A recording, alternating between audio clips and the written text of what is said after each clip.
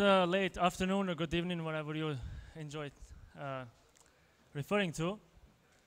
Um, um, unfortunately, the first guy in the it was not available, so I am I'm about to start the first in here.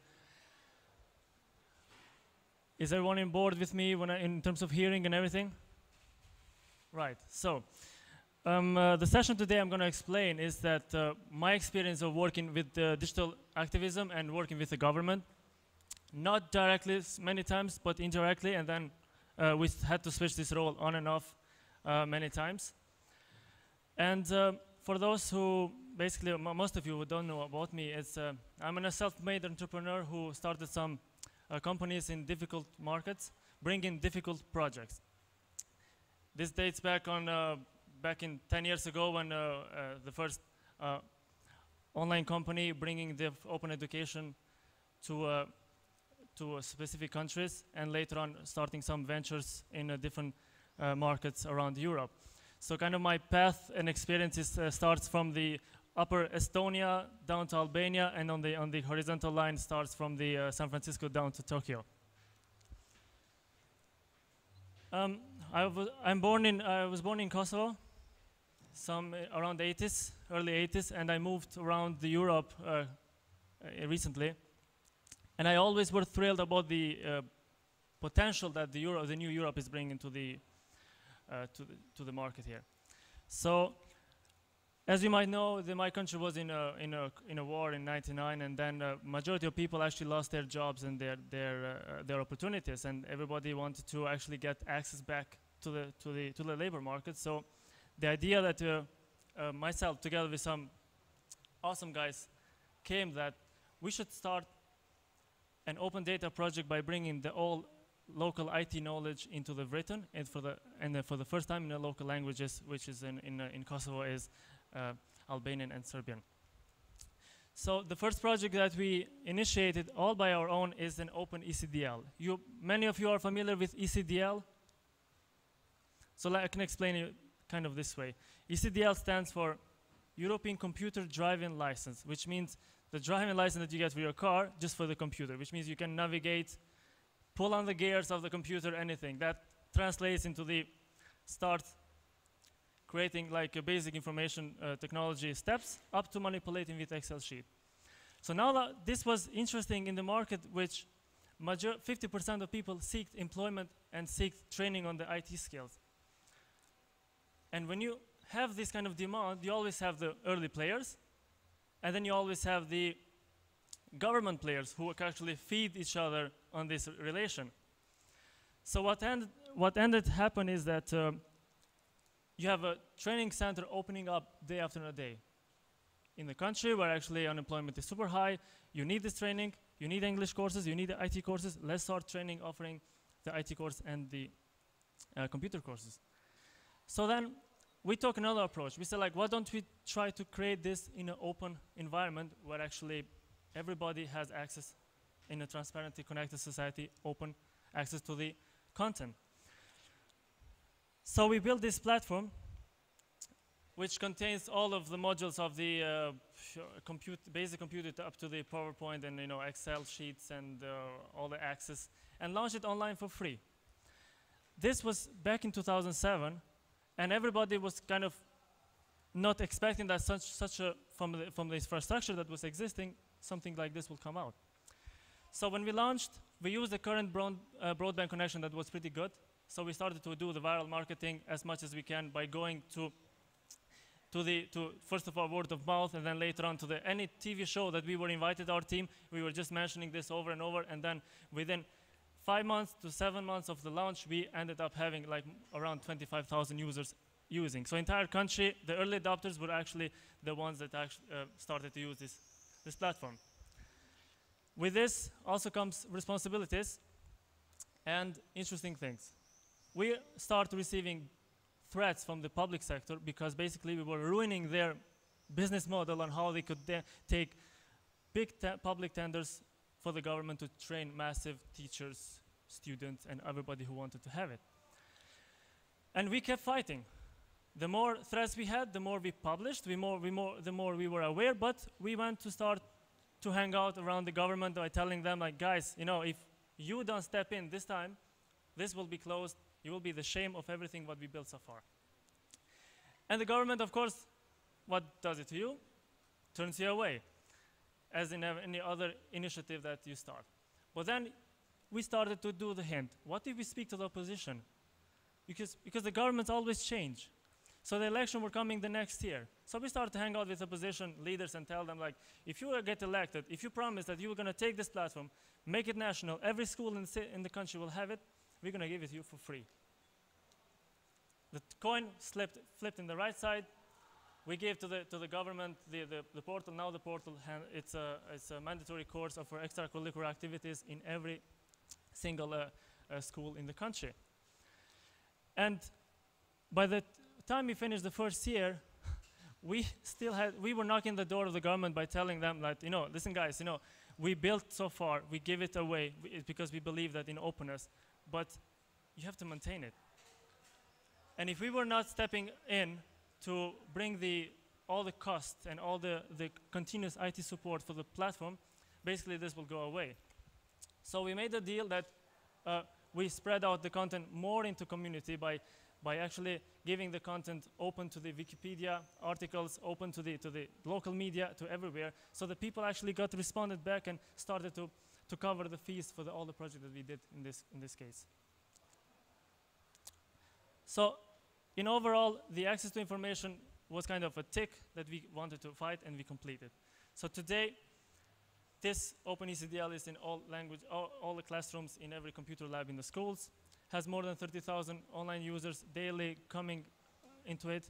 And uh, in 2008, we won the Best Practice Award by the European Commission by influencing the most technology per country in uh, Europe. Then we thought, what could we do next? And these things have uh, slightly changed because when you have a troubled country which went through tough times and then you want to actually bring the best of, out of it in the most in the most let's say high level according to the standards of, of your neighbor first and then going around the Europe you have to think about what could we do something that could improve the life of people easier but in terms of like help them in education help them actually win-win by also promoting the, their own country and their own destiny so we started with uh, citizen engagement and launching the Wiki Academy so what Wiki Academy does is basically invites all the scholars to come and write new content. Not current existing, not to engage into the wars in the, in the Wikipedia and who was there first and who was there first before, or religious aspect, or let's talk about the Palestine or anything uh, like that. No, the rules are that you just have to start creating new articles, learn how to reference, contribute to the web and contribute to, the to, to Wikipedia to open access to education for majority of people. So we invited professors, artists, government ministers, open source activists, diplomats, founders of Wikimedia communities from Germany, United Kingdom, Sweden, Serbia, Macedonia, Kosovo, and Albania. They all were in the same room trying to create a new content. And the new content was about new things, like there was no article in Wikipedia about theater in Kosovo, for example, or festivals in the Balkans, or something that relates not with sensitive issues, but more with a cultural artistic approach, which was not existing. I travel around Germany and the US, and every time I mention the Balkans, it always gives this negative image of the, of the conflict. So we wanted to uh, put the spin on, and try to produ produce as much as possible articles. But we had to make some funny rules in order to be engaging. So no Wiki Wars game, and if you want knows what a Wiki Wars game is, so to explain it really shortly, Wiki Wars is it's an interesting concept which I recommend to all the Wikipedians to and all everybody to use it. So let's say we are in Croatia and uh, I'm battling with I'm, I'm competing with one of you guys, and uh, our task is find a path between Adriatic Sea and let's say Peter Tchaikovsky, the Russian composer. So Wiki Wars is mainly like, with a set of time, we have to link over the Wikipedia, and who, has, who goes fastest to the Tchaikovsky from the article of, of the uh, Adriatic Sea actually is the winner. So this game actually improves a lot people to gain knowledge more for the many other things. So let's say from Adriatic coast, you go to, so, so let's say Adriatic coast is surrounded by, you know, like Albania, Croatia, all, uh, all of other countries. So you press Croatia, then you go to Croatia is in Europe, you press Europe, then Europe, uh, then you go music in Europe, and then uh, you press Russia, music in Russia, classical music in Russia, done, Tchaikovsky. So this path, whoever goes fastest, maybe the, my path was the longest, but somebody else goes fastest, actually is the winner. So we did this at the end by engaging people constantly to play this, uh, this game on the, on the Wiki Academy. But nothing rules more than the rules of the Fight Club. So we took the Fight Club rules and we switched into the Wiki Academy rules. So first rule was you do talk about editing club. So we kind of create this editing club. Second rule is you do talk about editing club, and if someone says I'm done or goes live, the editing is over. Only two articles per team, only one editing at the time, no plagiarism, no bad references. Editing will go as long as they have to do. And if this is your first night at the editing club, you have to edit. And everybody within 48 hours, the guys that I mentioned just before, started creating really cool content such as things that never existed before, classical music, Kosovo film festivals, teacher, Katarina Josipi, a famous actor, nobody knows about her. And 59 articles were created in Wikipedia within 48 hours. Of course, this was also always had the, the support from the, from the public, from everybody, because it was coming from the citizen engagement straight to the, to the content creation of, uh, of everything. We also opened the uh, admission for the pictures. So this picture on the top, I never been there. It looks awesome. I didn't even know that this place exists before I actually saw the picture. And we rewarded the guys uh, who submitted. And more than 1,000 pictures were submitted over and over to, to, to compete and to get. And now, for example, the government website, when they use pictures of presenting something, they're starting slowly to use the pictures that are accredited by the, by the um, Creative Commons. They, they use uh, pictures that are coming from the users, not from the Shutterstock pictures of call centers and everything like that.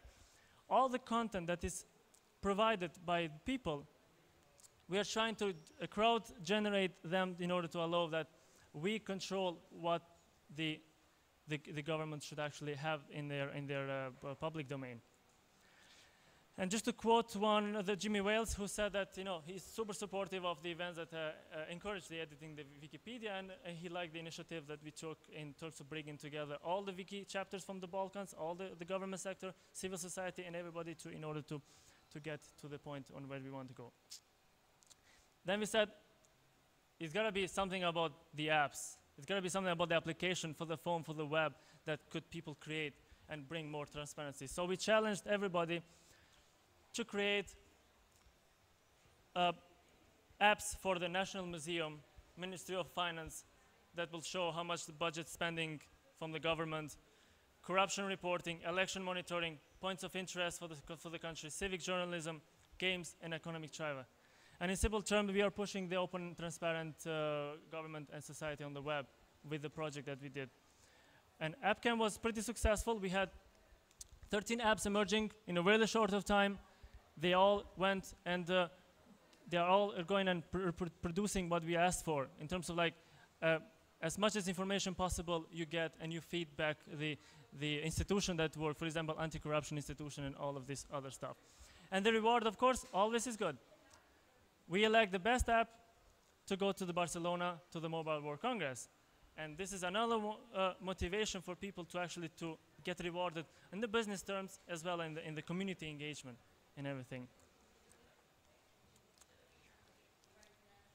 This all led us, during all these past years, to the project we are finally doing and finally got approval from the, from the government in terms of for us to let to change, to bring a website on which actually people write about the, the, the government website. So uh, the portal, which is uh, uh, e-Kosovo, will be A to Z for the government. It's getting everything from the starting from the how to apply for the job, getting certification in the school, everything A to Z what is about the country will be. And this will be all crowdsourced from the people. So there will no be, there will no, no uh, government employee will, will actually be responsible for this because it will all become from the people. And this of course is in a, in a criteria line with an open government partnership on which encourage everybody to open up the government and uh, and and, uh, and uh, let other people to actually participate on it.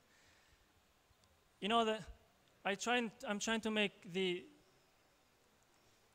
the conversation here pretty short because I'm not revealing also the negative aspects when you work with the governments that are, you know. Of course, there are all delays and mismanagement from the public sector affects every move that we do in the project. But when you have a, such a strong power of the crowd that is actually engaging every day and try to bring the new image for the, for the, for the country, then you can call, does this actually is the website of the government or is not anymore? In fact, this is a website of, the, of its own people who, who write content for their own people. With this, we are aiming to stop the ministerial departments and ministerial because I, as far as I remember the last time we checked, we had like around 14 ministers and something like 28 vice ministers, you know. If I could replace every vice minister with one content creator from the civil society that will come and, and, and work and give information and, and transparency to the public, that is our goal with a, with a e-project like, like this one and a government partnership. So this one actually will aim to integrate into one simple website and crowdsource it open government in accordance with the government open government open gov partnership criteria, which is about transparency, it's about uh, reporting financial, reporting anti-corruption, and uh, access to information. And also we do provide tools that we created during the, during the app camp in terms of like people that want to build on top things, something, they can create these tools. And then the government every time is relying to these and, um, and I'm thrilled to say like, you know, the, the support they, they actually get. Because at the end of the end, they gave up. They see, they read every day. They see that if they don't open the doors for us to let to do it and actually manage in terms of in a good way, the moment they block the door, they're gonna, they're gonna just fail. Because they failed in the beginning, we won, and now slower and slower. Uh, and the integration and publication tools that we are providing with this platform helps them to reach more um, uh, voices in terms of like when they are about to give some online polling for something. Let's say like, uh, do you want to have a certain park or do you want to have certain, uh, certain idea implemented?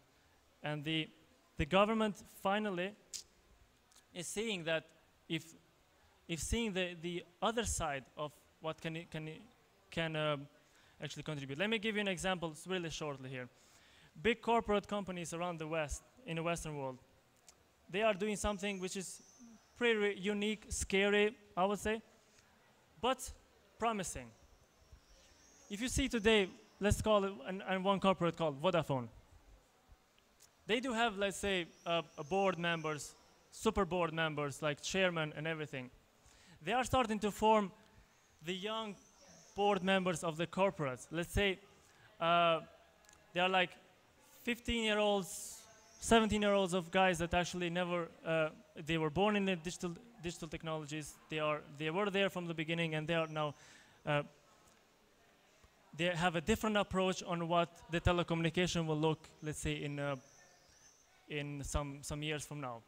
So they are forming these parallel board memberships in terms of like hearing the voice of the, of the new generation and then letting the, the old board to, to get feed and inputs all the time from this new generation.